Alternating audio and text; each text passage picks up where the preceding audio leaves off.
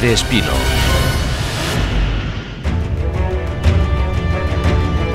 La leyenda de Arantzazú comienza a finales del siglo XV, cuando un pastor llamado Rodrigo de Balanzategui encontró por casualidad en este valle una figura de la Virgen semioculta en un arbusto de espino.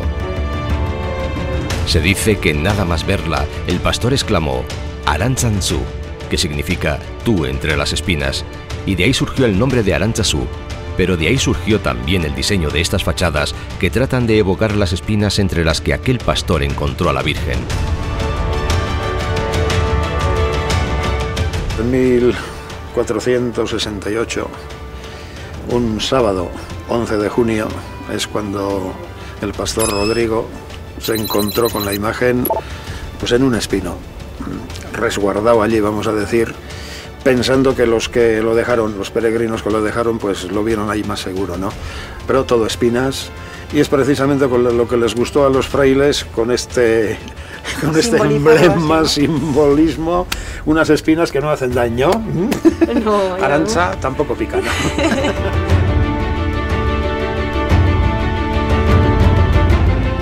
De Aranzazu surge también el uso, como nombre de mujer, de la palabra aranza, que significa espina, y dicen que en las paredes de este santuario hay 4.000 espinas de piedra.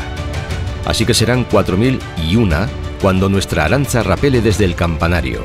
Pero atención, porque Aranza intentará que rapele a su lado el franciscano Pello Zavala, un hombre que sabe mucho sobre lo durísima que era la vida para los primeros frailes que se asentaron aquí, rindiendo culto a la Virgen de las Espinas.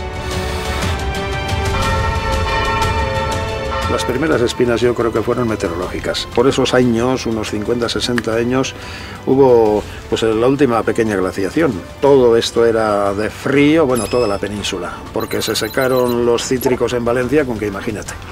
Entonces era un frío enorme y eso sí consta en la historia que a finales del 15 y principios del 16 pues hubo unos 60 años de frío intenso Ahí va, pues coincide perfectamente eh, con lo que nos cuentan eh, los primeros años. Ahora, el frío que tenían que pasar aquí no podían aguantar y se marcharon y, y lógico. El frío expulsó primero a los frailes mercedarios y más tarde a los dominicos, pero en 1514 se instalaron los franciscanos y aquí siguen, 500 años después. Aunque hoy en día en todo el santuario solo quedan unos 30 frailes franciscanos con una media de más de 70 años de edad. Y eso que todo este valle ha sido históricamente un lugar bañado por la fe. Había toda una ruta de lugares supuestamente santos en los 10 kilómetros que hay entre Aránzazu y los pueblos más cercanos, 10 kilómetros en los que la fe surgía precisamente de la piedra.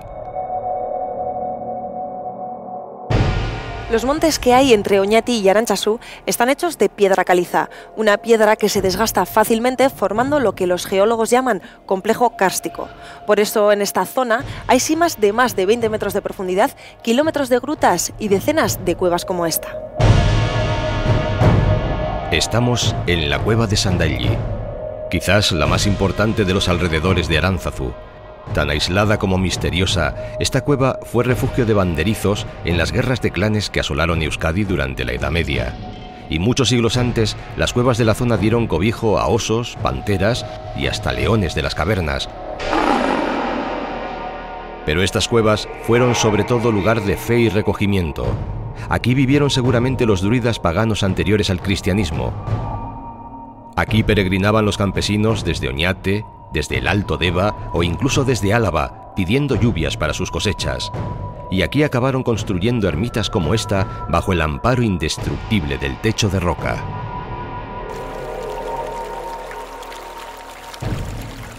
Esta cueva aloja la ermita de San Elías, y es que en lugares tan especiales como este parece que el paisaje alimenta la fe, porque hay mucha gente que cree que pilas como esta hacen milagros. En tiempos no tan remotos, los hombres y mujeres de Oñate se metían en esta pileta hasta la cintura, creyendo que al hacerlo tendrían hijos con rapidez. Y los de Salinas de Leniz, buscando más precisión en el milagro, metían en el agua tantos dedos de la mano como hijos quisieran tener. Pero es que todo en esta zona invitaba a pensar en fuerzas más grandes que la vida. Desde las grutas sin fin bajo la roca hasta la piedra inamovible de las montañas.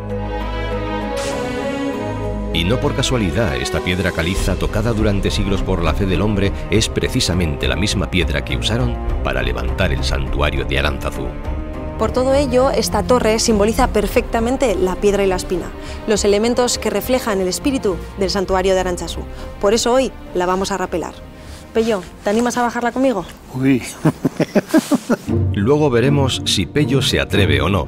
Pero antes hay que preparar el rappel empezando por un perímetro de seguridad alrededor de la torre. Y es que toda precaución es poca cuando se va a rapelar.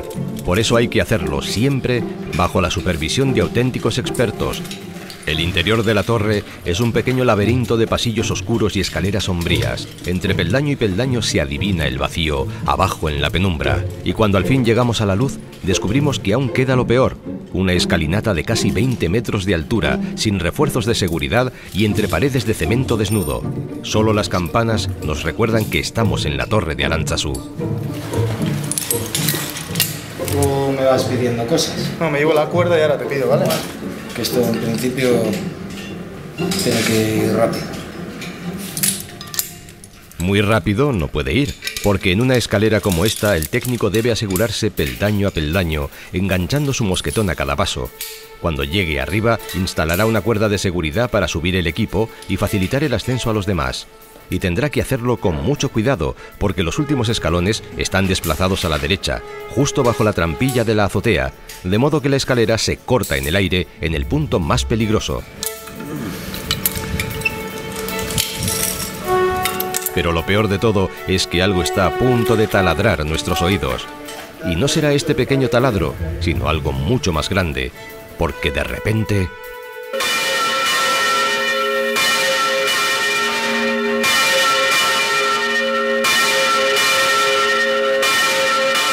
Los tres minutos largos de repique de campana resultan interminables cuando uno está justo debajo de ella.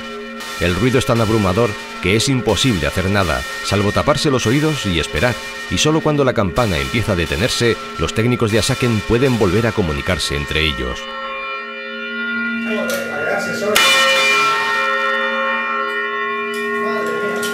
Deberán darse prisa en completar los preparativos o acabarán sufriendo las próximas campanadas.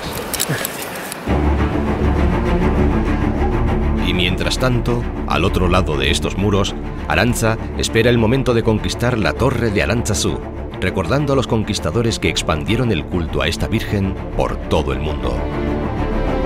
Y es que no muy lejos de aquí nació Lope de Aguirre, el conquistador que se rebeló al rey Felipe II y viajó por Perú, Nicaragua o Colombia, entre otros lugares. Hombres como él han extendido el culto de la Virgen de Aránzazu por América y por eso hoy en día hay ermitas, hermandades o iglesias de Aránzazu por México, Colombia o Argentina. ¿No es así, Pello?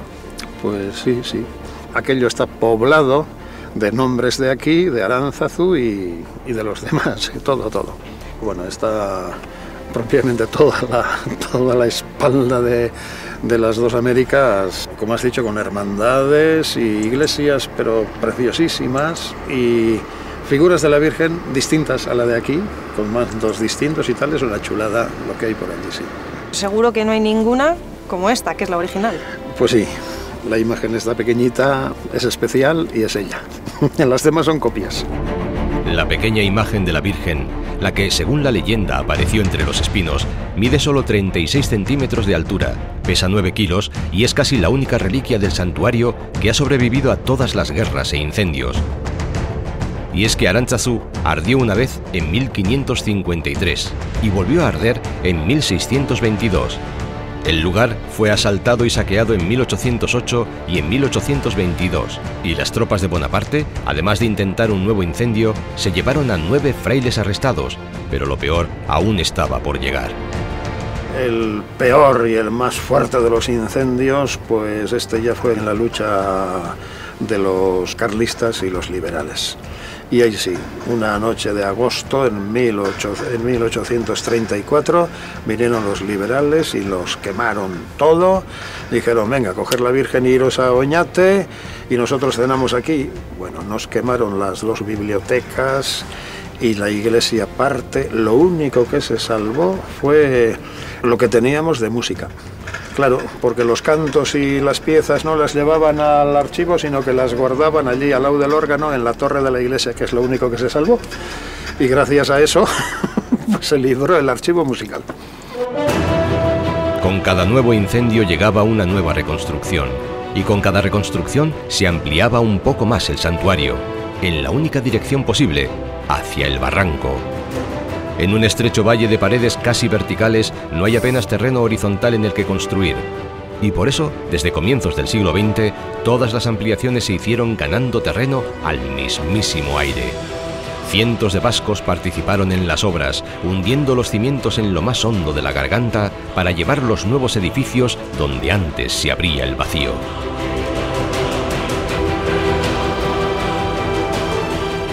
Y viendo el santuario desde aquí, parece que el verdadero desafío no es el que nosotros haremos luego, sino el que tuvieron los constructores para construir el santuario en este barranco. Y además teniendo en cuenta que lo hicieron en el siglo XVI. Pello, un auténtico desafío. Y tanto. El, el tuyo es mucho más sencillo, porque esto... Además, en toda esta zona, lo más escarpado, escarpado es aquí. La pared, cómo está entroncada precisamente en la peña, y dices, ay, ama, ¿qué induvieron estos? Y todo, pues ahí cerquita, cerquita. En los primeros años las edificaciones también eran pequeñas, la iglesia iba creciendo un poquitín, pero una iglesia también estrechita y claro, tampoco había aglomeraciones mayores. ¿no? Las aglomeraciones empiezan ya por 1920, vamos a decir, cuando se trató de hacer una nueva iglesia que quedó ahí cortada, ahí donde vemos estos arcos, que son ya antiguos, pues son de 1920. El 24 la crisis anterior ahí la paralizó.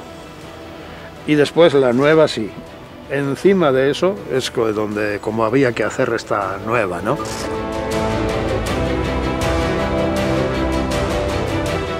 Y bueno, todo esto es, sí, es un milagro cómo operaron para sacar esto. ¿m? Pello, ¿y este auténtico milagro de la construcción, eh, quién lo construyó? ¿Los fieles o los frailes? Al principio los fieles, sin ninguna duda, y eso cuando no había camino. Los de Álava venían pasando esos montes, los navarros pasando toda Urbía y los guipuzcoanos pasando estos montes y tal. Ellos fueron los que, los que propiciaron y los que trabajaron más. Y ya después nos han ayudado por medio del dinero. Todos estos tejados los hicimos gracias a, a los donativos y tal, ¿no? Entonces siempre decimos que Aranzazú es del pueblo. Nosotros hemos procurado ser lo más posible del pueblo y hemos sido muy apreciados en el pueblo, ¿no? Entonces, entre todos hacemos Aranzazú. Muy bien. Pues nada, yo orgullosa de, de llevar el nombre Hombre, de, de esta preciosidad. Muy bien, porque las, Sí. las arochas siempre somos muy especiales, como esto. Sí, como las piedras esas. Arancha sí, pero no, que no, que no Que pincháis. no pinche. En abril de 1950, la Orden Franciscana decide construir una nueva basílica en Arántzazú. Al concurso de la obra se presentan hasta 40 candidatos, pero a la fase final solo llegan 14 proyectos. Y todos proponen iglesias clásicas y convencionales, salvo uno, que desde un principio plantea cubrir las fachadas con aranchas de piedra caliza. A este proyecto se suman Eduardo Chillida, que diseñará las puertas de la iglesia, y Jorge Oteiza, que se hará cargo de las esculturas. Y lo más vistoso será una torre de 44 metros de altura, equivalente a un edificio de 15 pisos, la misma torre que al fin vamos a rapelar. Pello, ¿te animas a bajarla conmigo? Uy. no me atrevo, no me Bueno, atrevo. sería otro punto de vista. Pero mira, han hecho ahí 4.000 aranzas. Y ahora va a andar una de arriba abajo. Yo, Me voy a acaso- mimetizar. Sí, por si acaso te espero aquí, no sé qué. Muy bien, bueno, pues entonces nos vemos aquí abajo. Eso es, eso es. Uy. Vamos para allá.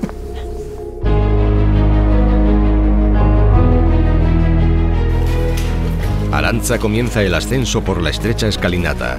Son casi 250 escalones para llegar hasta el campanario. Y bajo sus pies, quedando los extraordinarios apóstoles de Oteiza. Extraordinarios porque son 14 apóstoles y no 12. Y extraordinarios también porque en vez de invitar a entrar en la iglesia, parecen salir de ella, surgiendo de entre las espinas de piedra y caminando hacia adelante, como indican sutilmente sus rodillas flexionadas. Son verdaderas obras maestras de la escultura, aplaudidas y reconocidas en todo el mundo, y a los frailes franciscanos les entusiasmaron, pero... Y a los frailes les gustó y dijeron, esto va a ser siempre Aránzazu, con tantas espinas y tal, pero toparon enseguida con las espinas más punzantes, porque cuando vinieron las autoridades, el obispo y el nuncio, dijeron, esto no nos gusta nada, Vinieron los frenos de parte del obispo, que no se podía pintar el primer retablo. Y después lo de Oteiza también había que frenarlo. Y así es como estuvo, pues hombre, estas piedras yo las vi como las acababa, porque era chaval entonces de 11, 12 años, y las llevamos, todas ellas, sobre rodillos de madera, allí al fondo, y allí estuvieron tumbados pues 15, 16 años. ¿Qué pasó finalmente para que los obispos cambiaran de idea? Luego lo sabremos y dejaremos el dato más asombroso para cuando Aranza haya llegado al suelo. Por ahora está todavía subiendo por la escalerilla partida, con el tramo final peligrosamente desplazado a la derecha. Aunque hemos instalado una cuerda de seguridad, pasar de un tramo a otro sigue siendo una tarea delicada, pero es ya la última barrera antes de llegar a la azotea del campanario. 44 metros en vertical y las mejores vistas de Arantzazú.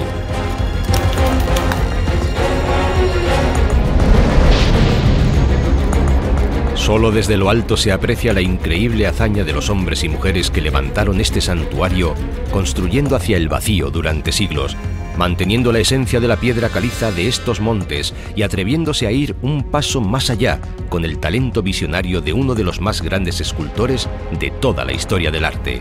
Solo esperamos que en este rappel las campanas no doblen por nosotros. Menos mal que hemos subido hasta aquí arriba porque si nos llegan a pillar las campanas tocando ahí abajo, probablemente un poco de sordera se nos quedaba. No es el rappel más alto que hemos hecho, pero habrá que usar protectores para las cuerdas, porque sí estamos ante la pared más espinosa que hemos visto.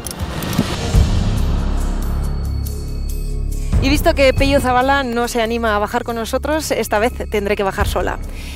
Y tendré que tener bastante cuidado porque esta fachada es muy peculiar. 4.000 espinas de piedra van a dificultar que apoyemos los pies en el descenso. Parece ser que Oteiza y compañía no pensaron en escaladores al diseñar esta fachada. Así vemos el santuario de Aranchazu en Basque Country Vertical.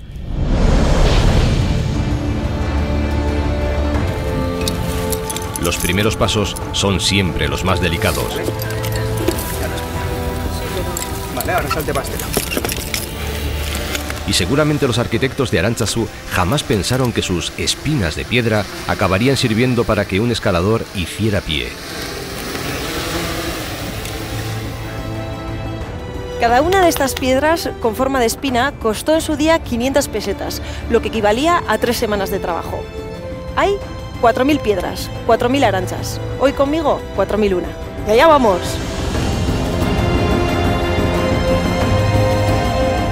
Estamos viendo la torre de Arantzazu como nadie ha podido verla hasta ahora. Y desde este nuevo ángulo parece más que nunca una torre de espino, una obra única en el mundo y uno de los monumentos más importantes de Euskal Herria.